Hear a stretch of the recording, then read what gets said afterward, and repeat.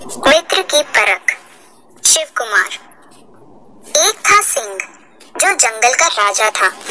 वह खूब लंबा चौड़ा और बलवान था। वह बहुत रोबीला था और भयानक भी। सभी जानवर उसके लिए जंगल के कोने कोने से नित्य नई भेंट लाते थे। पर सिंह को जितना मिलता वह उससे भी ज़्यादा पाना चाहता था। एक दिन उसने सोचा राजा के तो दरबारी होने चाहिए, बिना दरबारियों के राजा कैसा?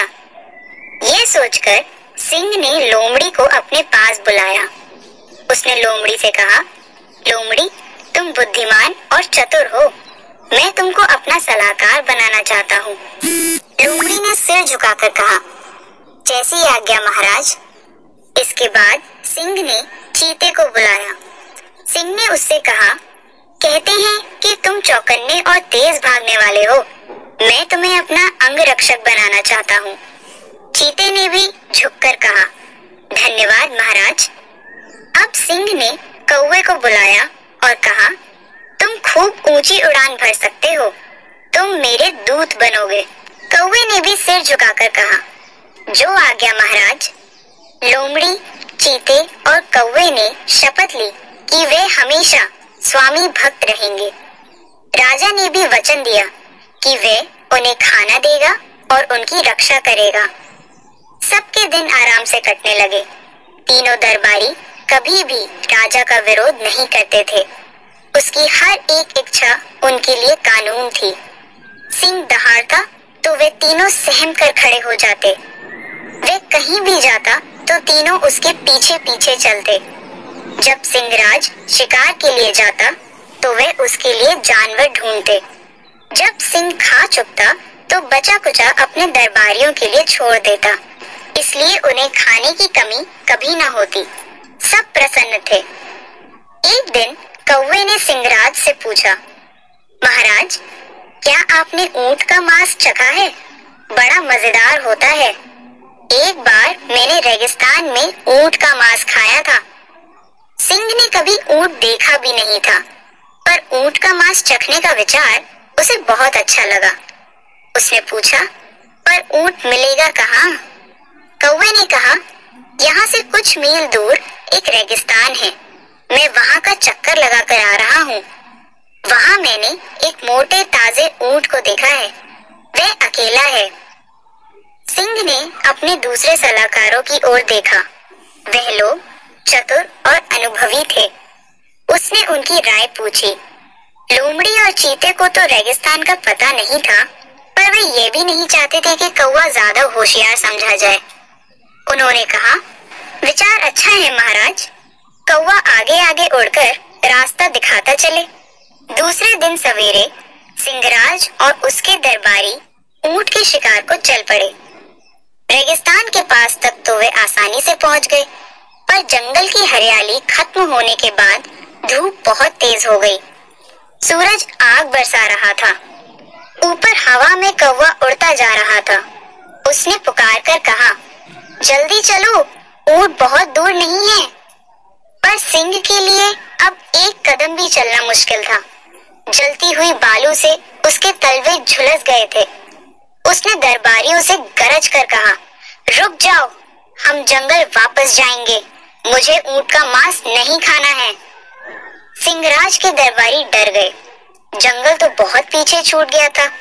उनकी समझ में नहीं आया कि थके मांदे शेर को अब जंगल वापस कैसे ले जाएँ। चीता भाग जाना चाहता था। कौवे ने सोचा कि देखें अब क्या होता है। पर चालाक लोमड़ी ने एक चाल सोची। मैं अभी किसी को मदद के लिए बुलाती हूँ। ये कहती हुई वे रेगिस्तान की ओर भाग गई। कुछ देर बाद लोमड़ी ने ऊँट को देख लिया। ऊँट रेगिस्तान में लोमड़ी को देखकर चकित हुआ। लोमड़ी ने ऊँट से कहा, जल्दी चलो दोस्त, हमारे महाराज तुम्हें बुला रहे हैं। ऊँट ने कहा, कौन है तुम्हारे महाराज? मैं किसी राजा महाराजा को नहीं जानता। मैं तो सिर्फ़ अपने मालिक को जानता हूँ। जिसके लिए बोझा लादकर इस रेगिस्तान के पार ले जाता हूँ। लोमड़ी ने कहा, हमारे राजा सिंह ने तुम्हारे मालिक को मार डाला है। अब तुम आज़ाद हो। सिंह ने तुम्हें अपने दरबार में रहने के लिए बुलाया है। चलो मेरे साथ। ऊँट लोमड़ी के पीछे पीछे चल दिया। लोमड़ी के साथ ऊँट को देखकर कौवा और चीता दंग रह गए। पर सिंह बहुत खुश हुआ और अपने तलवों की जलन को भी भूल गया। ऊँट को सिंह के सामने लाया गया और लोमड़ी ने सारी बात दोहराई। ऊँट इस बात पर राज़ी हो गया कि राजा उसे दरबार में जगह दे तो बदले में वह उसकी सेवा करेगा। लोमड़ी ने सिंह से कहा, ऊँट की पीठ पर बैठ जाइए महाराज, हम लोग घर वापस चलेंगे। सिंह कूद कर ऊट की पीठ पर जा बैठा। उसके दरबारी लोमड़ी और चीता भी उसके पीछे बैठ गए। आगे कौवा रास्ता दिखाता चल रहा था। इस तरह जंगल की ओर उनकी यात्रा शुरू हुई। लंबी यात्रा के बाद जंगल पहुँचते पहुँचते सभी थक गए थे।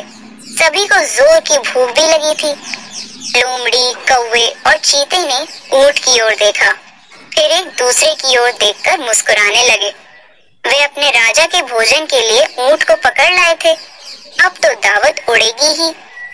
सिंह ने दरबारियों के मन की बात ताड़ ली। उसने ऊँट को अपने पास बुलाया और कहा, दोस्त ऊँट, तुमने मेरी जान बचाई है। मैं कृतज्ञ हूँ। तुम जब तक चाहो मेरे दरबार में रह सकते हो। मैं तुम्हारी रक्षा करने का वचन देता हूँ। ये सुनकर दरबारियों को बहुत बुरा लगा।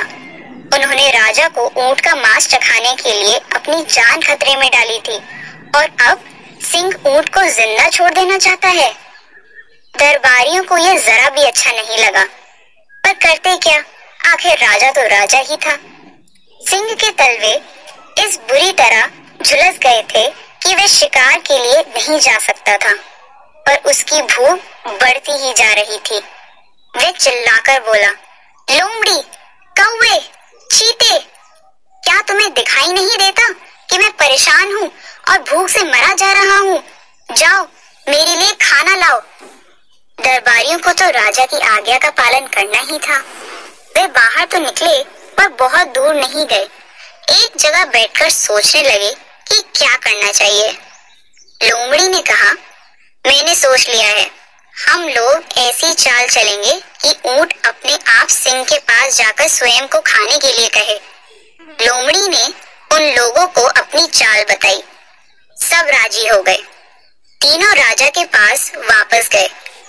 पहले कौवा आगे बढ़ा और खूब झुककर बोला, महाराज, हमें कोई शिकार नहीं मिला, पर हमारे रहते हुए आप कष्ट नहीं उठा सकते। मैं छोटा सा गरीब जीव हूँ, मुझे ही खा लीजिए और अपनी भूख मिटाइए लोमड़ी ने कौवे को धकेल लिया और बोली, नहीं महाराज, मुझे खाइए। अब लपक कर सामने आया और बोला, महाराज, मैं लोमड़ी से बड़ा हूँ। ऊँट ने उन सबकी बातें सुनी। उसने सोचा कि उसे भी वैसा ही करना चाहिए। उसने कहा, महाराज, आपकी जान बचाने के लिए मैं भी अपनी जान दे सकता हूँ। ये लोग आपके पुराने मित्र हैं। आपके ज़्यादा काम आएँगे। मुझे ही खा लीजिए। लोमड़ी, कौवा और चीता तो तैयार थे ही। ऊँट के ये कहते ही तीनों उसकी ओर झपटे सिंह ने उन्हें रोककर कहा, तुम सब मेरे अच्छे और स्वामी भक्त सेवक हो। मैं किसी का दिल नहीं दुखाना चाहता। मैं सबकी बात मानूँगा। जिस सिलसिले में तुम लोगों ने अपने को भेंट किया है, उसी सिलसिले से मैं एक एक करके खाना शुरू करूँगा। यह सुनकर कौवा, लोमड़ी और चीता सन्न रह गए। भला वे ऐसा कब चाहते थे? कौवा फ़ौरन उड़ गया। लोमड़ी और चीता भी भाग निकले। रह गया केवल ऊँट।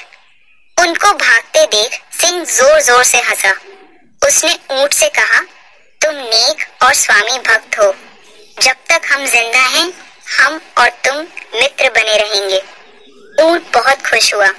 सिंह ने सोचा, राजा होना तो बड़ी बात है, पर दयालु होना उससे भी बड़ी बात है। कहानी समाप्त। मित्र की परख